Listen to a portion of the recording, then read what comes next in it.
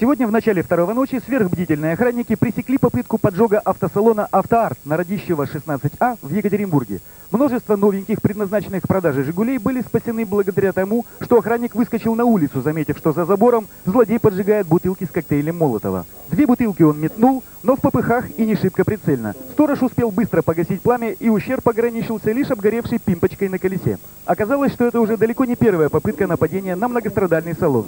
Его директор не без основания считает это кознями злых конкурентов. В больших каких-то размерах повреждений удалось избежать благодаря сторожам. Вовремя потушили, заметили. Вот, но случай не первый, скажем так. Кидали металлические гаки, повредили автомобили. Э, стреляли по стеклам по автомобилям. Значит, э, повреждение двери было, то ли металлические шарики, то ли ломами, что-то было такое дело, скажем так.